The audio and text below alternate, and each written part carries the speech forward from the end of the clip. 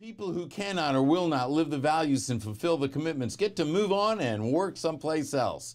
Never put off protecting the culture when you see a mismatch. Always do it right away. Sticking with the values can sometimes feel uncomfortable for leaders in the short term. Just remember, you are leading in the long term.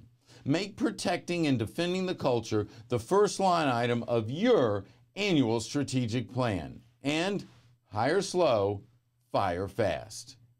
The fifth step, celebration, reveals the true character of the senior leader of the organization. The celebration step reveals whether that leader truly values people as people. It is a major test. Many, many leaders fail this test because most of what they do to celebrate the culture, unfortunately, is fundamentally inauthentic. Okay, so what do you think I mean by inauthentic?